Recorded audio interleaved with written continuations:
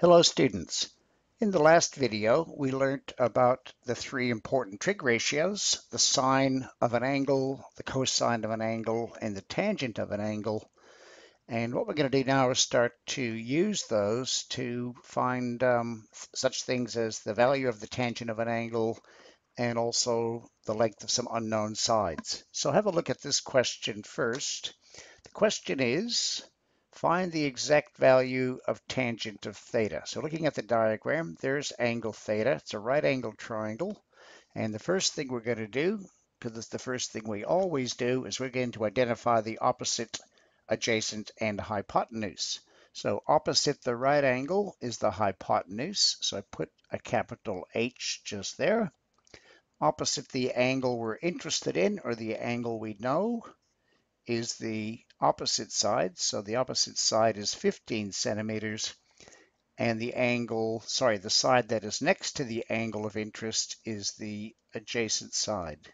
So always start by writing down O, H, and A on the appropriate sides of the right angle triangle. Okay, now the question is all about the tangent of an angle. So hopefully um, in your exercise book, you've written down SOHCAHTOA. We're interested in this. The tangent ratio is the opposite side over the adjacent side. So the first thing I always write, the first thing I always write is the trig ratio that I'm going to use to solve the question. So in this case, I write tangent of the angle is the opposite over the adjacent. So TOA is just a shortcut for remembering that.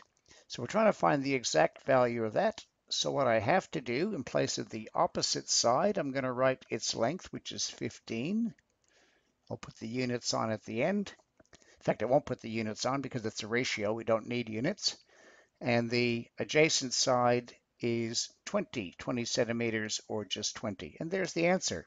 The tangent of the angle is 15 over 20. Now we can, of course, simplify that and generally, we try to write our ratios as simply as possible. Fractions are the usual way to do it. You could turn that into a decimal. Um, both of those divide evenly by 5. So I could actually write that in simplified form as the tangent of the angle is 3 quarters. And that's the answer. Okay, let's have a look at the next question. Let's find the exact values of each of these ratios for this particular triangle. So what do you think the first thing I'm going to do is?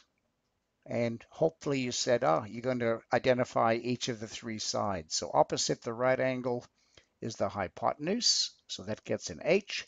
Opposite the angle of interest, the opposite side is there, which is seven centimeters. And the adjacent side, which is the one that's next to the angle, is 24 centimeters. So always start by identifying the three sides of the triangle. Well, I might do C and then let you have a go at A and B. So I start by saying cosine is adjacent over hypotenuse. Well, the adjacent side is 24. The hypotenuse is 25. So, in fact, I'm going to put um, adjacent over hypotenuse.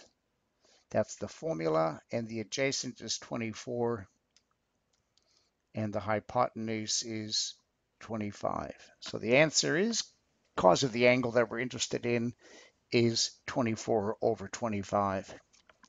Okay, have a go at um, questions A and B, please. I'll stop the video.